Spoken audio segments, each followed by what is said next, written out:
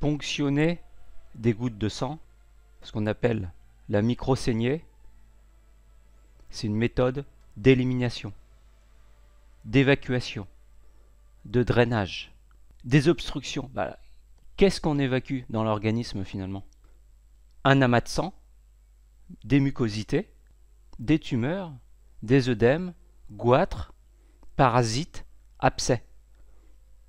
Donc on est bien dans une idée d'évacuation des déchets de l'organisme, évacuation de la matière morte, des toxines, de l'acidité. Avec la microsaignée, on a une action sur le sang. Quand vous utilisez seulement l'acupuncture, vous, vous travaillez au niveau du chi, qui est beaucoup plus subtil, mais vous n'avez pas cette action, une action beaucoup euh, moins efficace sur la couche du sang, sur la couche matérielle du corps. L'amoxibustion et la saignée ont cette capacité, les ventouses aussi, de déplacer des amas de sang, de fouetter la circulation sanguine. La circulation sanguine et la circulation dans les capillaires. L'idée, c'est de purger régulièrement votre, euh, le circuit de refroidissement, par exemple d'une voiture, purger régulièrement le circuit du chauffage central, purger les radiateurs.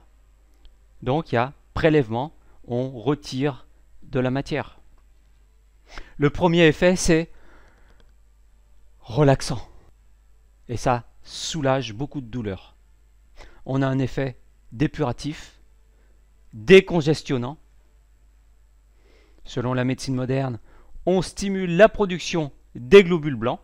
C'est se faire prélever régulièrement du sang, c'est bon pour prévenir les accidents cardiaques, pour diminuer l'hypertension artérielle. C'est comme produire du sang neuf en fait. Le fait d'enlever du sang, ça oblige le corps à euh, créer une réponse immunitaire, augmenter la, production de globules blancs, de globules rouges. Tout ça, c'est des euh, choses qui sont démontrées par la médecine moderne. Et nous, à notre niveau, on prélève seulement deux ou trois gouttes de sang. Et euh, les... qui est concerné? Mais tout le monde, tout le monde. Parce que prenez une femme enceinte, par exemple, un public fragile, une femme enceinte, un vieillard, un enfant. Une femme enceinte, euh, régulièrement, si elle a le diabète, eh bien, elle se prélève des gouttes de sang. Régulièrement, elle a des prises de sang, que ce soit un jeune, un vieillard, etc. Donc nous, à notre niveau, on va, on va enlever tellement peu de sang, 5 ml, 10 ml maximum. Plutôt 5 ml. Sur des endroits clés, c'est ça en fait, des endroits clés stratégique, ce qui en fait une méthode tout à fait euh, complémentaire, intéressant, intéressante, et qui donne des résultats. C'est surtout ça le but. C'est pas de dire je saigne pour saigner quoi. Le sang est de, c'est de la matière, c'est yin. C'est plutôt yin par rapport au chi qui est yang. Et ce yin, c'est de la matière qui a tendance, qui a tendance à l'inertie. Donc tendance à l'inertie, tendance au blocage.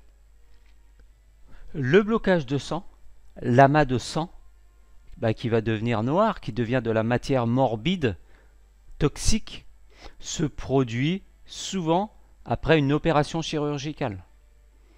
Opération chirurgicale du genou, on démontre facilement l'amas de sang, le sang noir, qui, n'a pas été évacué pendant et après l'opération.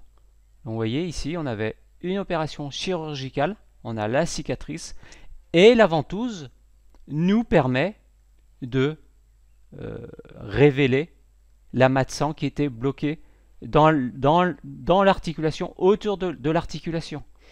Donc une ventouse qui amène en fait un soulagement. C'est ça le but.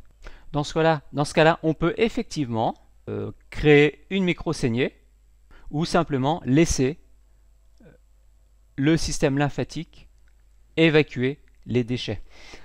Euh, après une ventouse comme ça, ce qui est bien, puisqu'on a une belle marque, c'est d'aller bah, eh bien masser, simplement. Masser pour euh, accélérer la disparition du sang mort, du vieux sang. On pourrait, avec une lancette, parcours diabétique, choisir le point le plus euh, noir et le plus superficiel. On va pas piquer ici, mais ici, là, ici c'est bien noir. Par ici, là, et on pique deux ou trois fois d'affilée avec une lancette de diabétique et on laisse couler le sang. Noir, forcément. Mais c'est pas une obligation.